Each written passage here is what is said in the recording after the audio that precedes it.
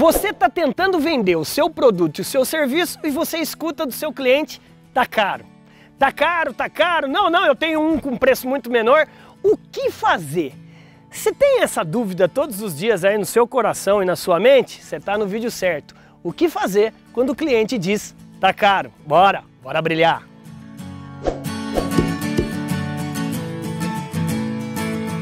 Salve, salve, meu amigo empresário, gestor de vendas e vendedor. Olha só, seja muito bem-vindo à maior escola de vendas do Brasil. É a maior escola, ela é digital e é gratuita. Meu nome é André Ortiz e eu tô aqui justamente para lhe ajudar nessa maior realmente escola que o Brasil tem para você capacitar, treinar e motivar todo dia seus vendedores.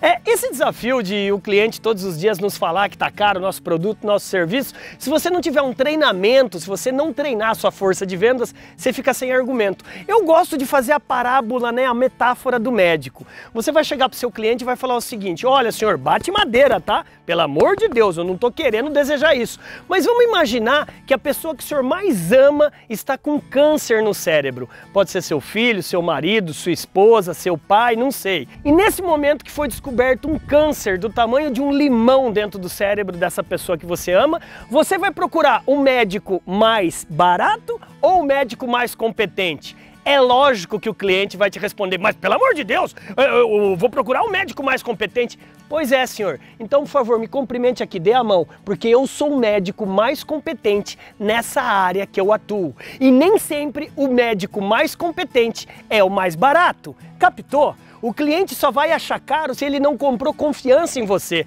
se você não soube vender os cenários, os benefícios na cabeça do seu cliente. Se ele achou caro, é porque você precisa melhorar os seus argumentos. E muitas vezes, quando o cliente fala que, que achou caro, você pode até concordar. Realmente, eu, eu concordo, concordo, mas entre aspas, não é que nós somos o mais caro, nós somos os mais valorizados do mercado. E uma outra ideia, entrou em leilão, meu amigo, minha amiga, você não consegue nunca mais sair. Então cuidado ao dar desconto a cliente que achou que está caro. É você que precisa melhorar os seus argumentos. Essas provocações fizeram você colocar a mão na consciência e pensar um pouco mais?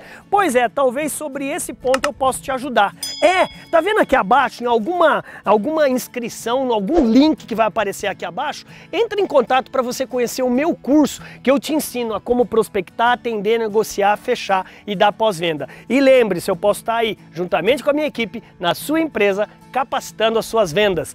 Lembre-se, cliente que acha que seu produto é caro, muitas vezes ele não é o seu cliente, ele tem que ser demitido. Bora? Bora brilhar, vai lá e haja, vai lá e venda, bora!